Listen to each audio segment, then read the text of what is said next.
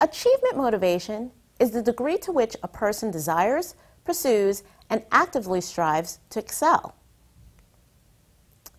Views about achievement motivation are that they're stable and unconscious traits that has strong generalized influence. They're a set of conscious values and beliefs shaped by a person's experiences with success and failure. It's also believed to have an unstable personality trait and based on cultural differences.